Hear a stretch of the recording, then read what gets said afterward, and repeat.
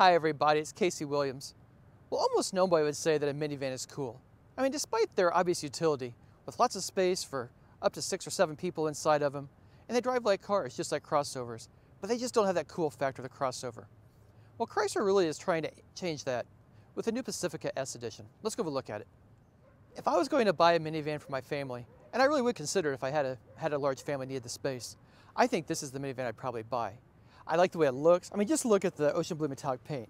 Just really sticks out. And with the S, S Edition trim, you get the black mesh grille, you get the black badging, black down below.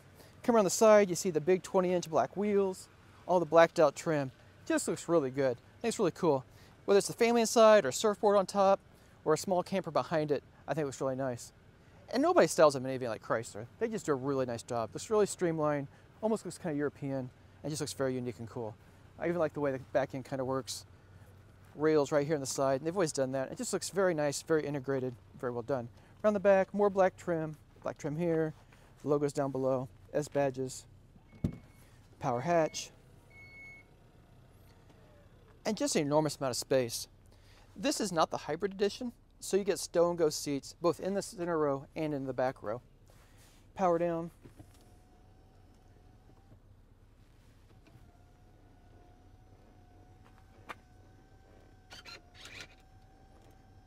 Takes a little time to get them down.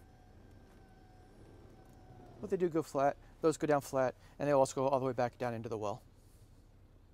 Well, despite newer vehicles from Chrysler's key competitors, I think it really still is at the top of the interior game. I've always liked the interior of this vehicle. I like the dashboard, it's laid out well, it's very easy. Chrysler, for a long, long time, all the Chrysler Group vehicles have what I think is the easiest to use touchscreen. Just easy to understand icons down below. There's your home screen, media. This has Apple CarPlay, Android Auto, also has wireless charging down here for your phone, Bluetooth, 4G Wi Fi, everything you need to connect, connect your devices.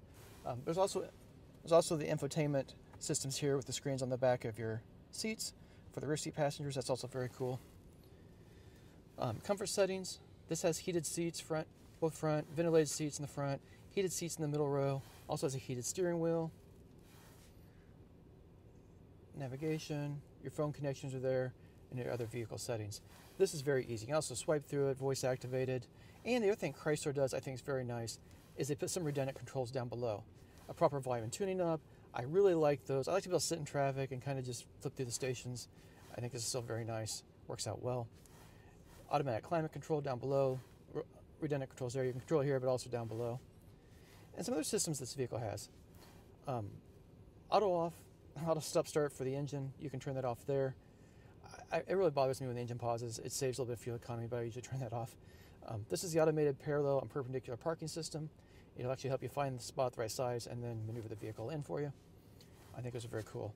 But down below, you know, a lot more space. You got the Blu-ray DVD player for the rear seats.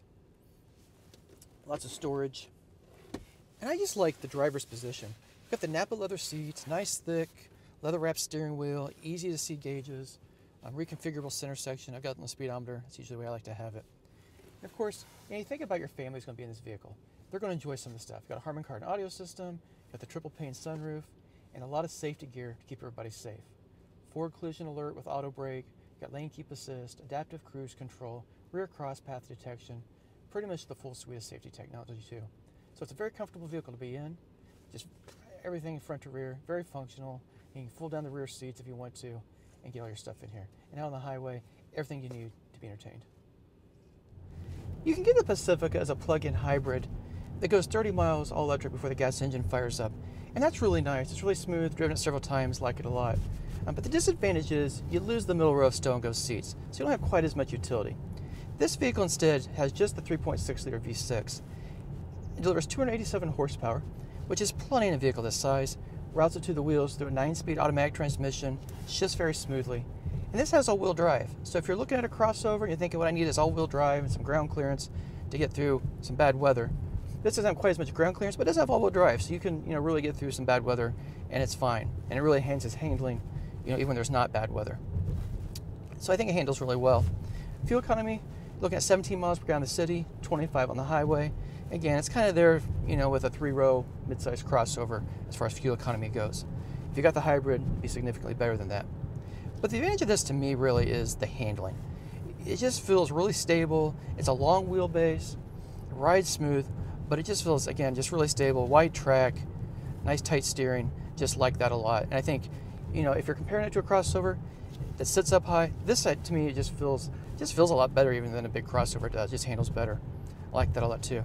And if you've got a crossover you're thinking, yeah, I need to be able to tow a trailer, a small boat, a camper, this can still do that. You can tow 3,600 pounds with this.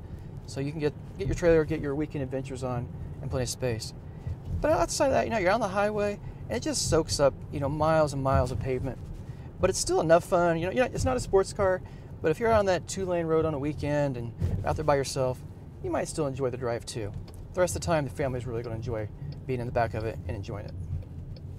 Well, if I haven't convinced you that minivans are cool yet, you really should go drive the Chrysler Pacifica, especially before buying a three-row crossover. It has all the interior space your family needs, but for me, it's just a lot better to drive. It sits down lower to the ground, it handles better, rides smoother, just offers a lot of advantages. And what Chrysler's done with the S package, with the black trim and the big wheels, I think it looks pretty cool, and I really like the blue paint. And they've added all-wheel drive to it, so if you're really concerned about poor weather performance and buying a crossover for that reason, don't have to worry about that anymore.